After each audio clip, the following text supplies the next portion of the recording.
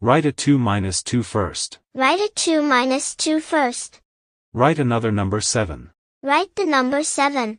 Then write the number 8. Write the number 8. Connect the arcs. Connect the arcs. Draw eyes.